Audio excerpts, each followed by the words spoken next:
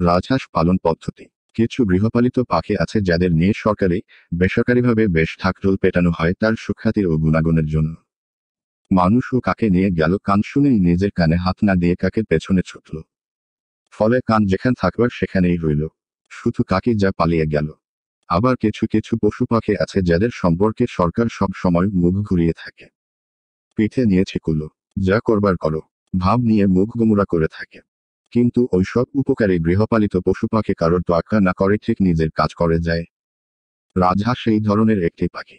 কবি বলেছেন, কোথায় জলে মরাল চলে। মরালি তার পাছেরে রাজহাঁস শুধু শোভাবর্ধন করে না। বাড়িঘর পাহারা দেয় চোরতারায় ঘাস কাটার মেশিনের বদলে রাজহাঁস পুষুন, ঘাস সমান করে খেয়ে নেবে। পোকা মাকড় খেয়ে জায়গা জমির জকশকে তকতকে করে রেখে দেবে। রাজহাঁসের মাংস খাওয়া হয়। ওর পলক দিয়ে লেপ তোষক, বালিশ তৈরি হয়। ডিম বছরে খুব কম ডিম দেয়। এই কারণে রাজহাঁস পালনকারী তার ডিম না খেয়ে সেটা থেকে বাচ্চা পয়দা করতেই বেশি উৎসাহী হয়ে থাকেন। আমাদের এই ভিডিওটি ভালো লাগলেই সাবস্ক্রাইব করে আমাদের সাথেই থাকুন এবং পরবর্তীতে এরকম ইন্টারেস্টিং ভিডিও পেতে বেল বাটনের অল অপশন সিলেক্ট করে রাখুন। এতক্ষণ আমাদের সাথে থাকার জন্য আপনাকে অসংখ্য ধন্যবাদ।